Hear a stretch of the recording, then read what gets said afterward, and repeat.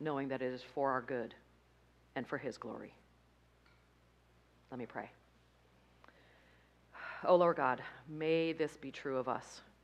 Uh, may we be women who fix our gaze so firmly on you that we can't look away, that we don't want to look away, that we just want to keep looking in your eyes and looking at your glory. May we hunger and thirst for you more than we hunger and thirst for our food. May we want you so badly.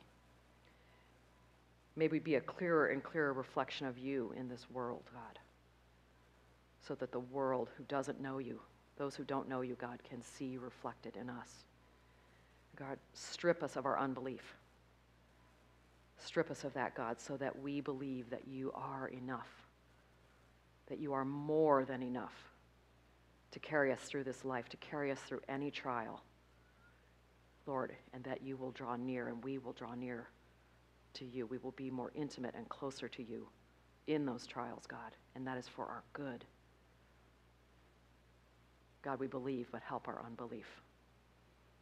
We just pray that this is true of us as a group of women here at Open Door, that as we go out these doors, God, these things are true of us, that we hide these things away in our heart, God, and we walk as if they are 100% true because they are, God.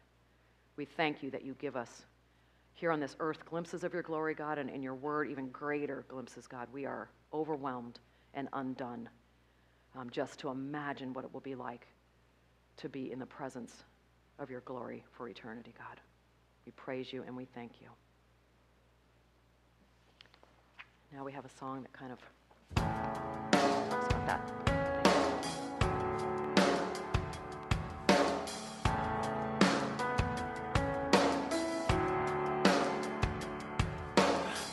I can count a million times people asking me how I can praise you with all that I've gone through. The question just amazes me. Can circumstances possibly change who I forever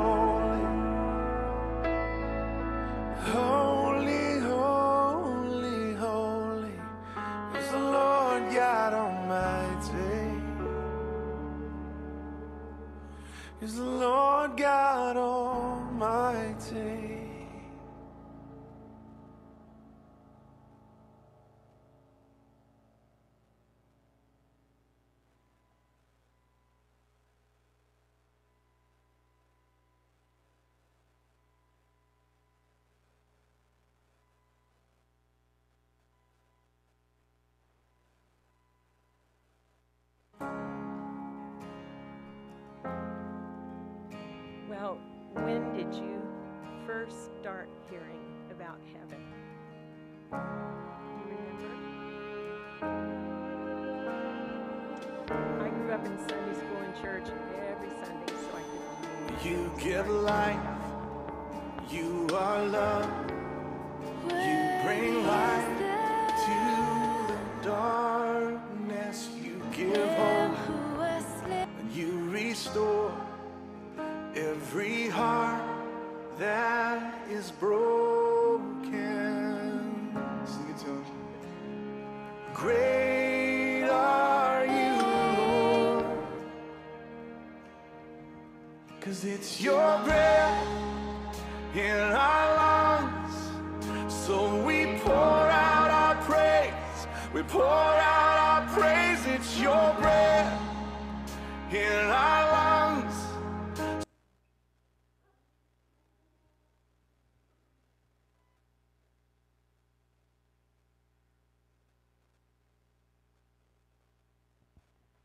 Okay, let's do that again. I, I, I don't know when I first started hearing about heaven, and I don't know what I learned about heaven that started developing a picture of what heaven was like. When I was seven, my grandmother died very unexpectedly. She was not ill.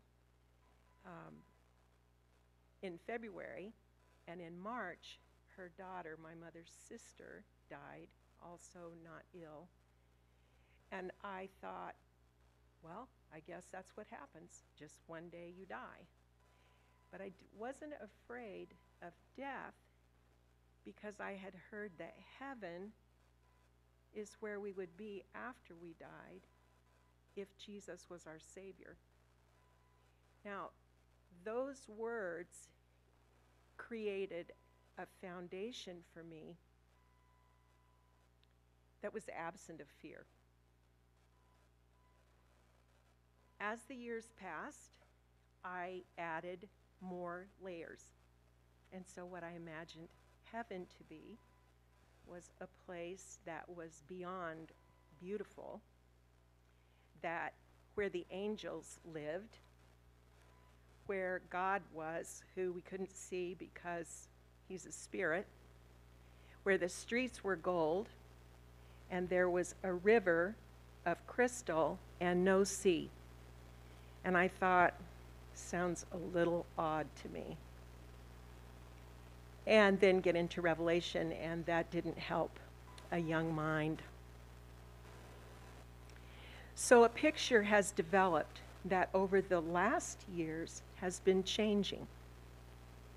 And what's been changing for me is that it isn't so much who I'm going to see in heaven, like my aunt and my grandma, and now there's lots of loved ones who are there. Now there are friends who are there. Do I look forward to seeing them again? I sure do. I sure do. I have never buried a child. If I had, I don't know. I don't, I don't know how long this shift would have taken for me. There's a story in Scripture that I really, really love. And I can hardly read it without it making me teary. And it's the story after Jesus was resurrected and he was in the garden. He said it was before he ascended to the Father.